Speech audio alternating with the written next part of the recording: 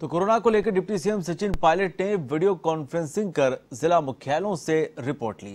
इस दौरान उन्होंने सरकार की ओर से चलाए जा रहे कोरोना से बचाव और जरूरतमंदों की मदद के लिए उठाए गए कदमों के बारे में भी जानकारी ली।